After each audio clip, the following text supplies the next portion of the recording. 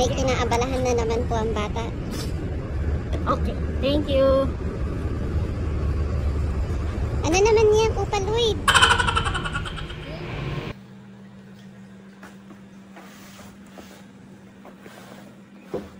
So, ayun.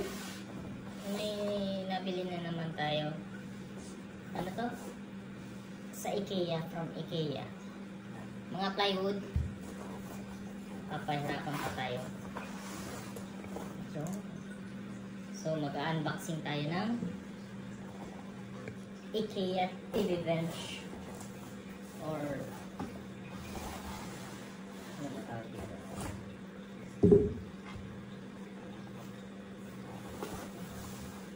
lagayan ng aquarium para maganda. So, ayan na po mga parts niya.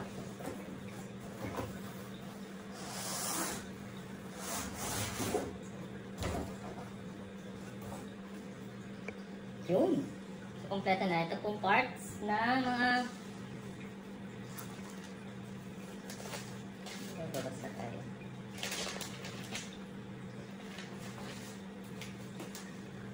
Hello. Hindi ko po mabasa kasi Arabo.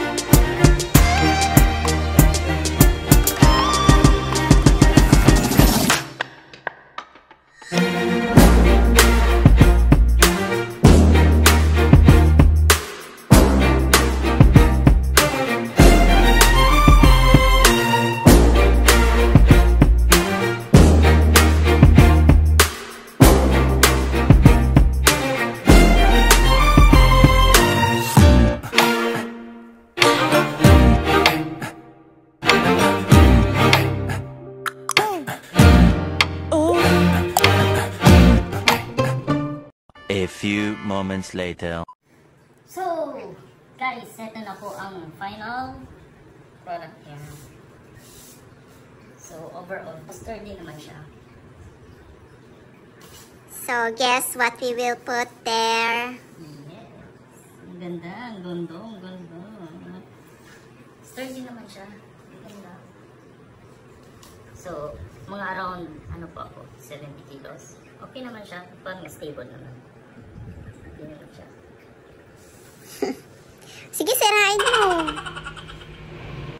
Yaman. So, ayun na nga po. Uh, worth, magkano lang siya? 85 reals. From IKEA. From IKEA. Pwede na siya patunga ng... Aquarium! So, we're done, guys. So, eto na po ang ilalagay namin dyan. Tada! Oh my God! Oh my goodness. Yan na po siya, guys. Yan yung talagang purpose nitong cabinet. Ang bago naming aquarium. And, ano, abangan nyo kung anong isda lalagay namin dyan. Mm.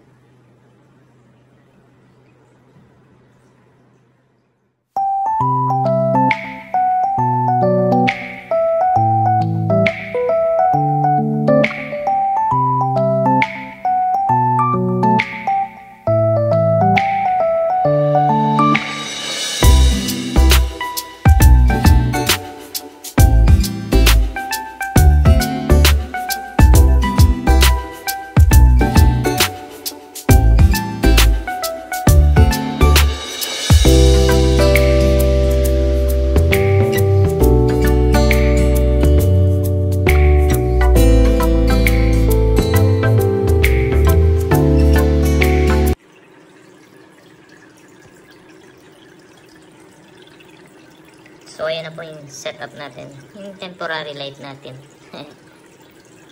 20 real. IKEA lang. Churun. Ano lang siya.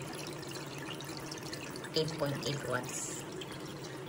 Parang sun, sunlight effect. Tsaka yung filter, ayan po. 40 real. May ano na rin. Parang voice. Not bad. Yung aquarium. 150 real from someone. Okay. And, uh, of course, the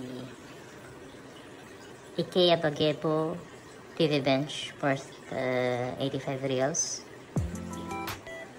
So, ayun.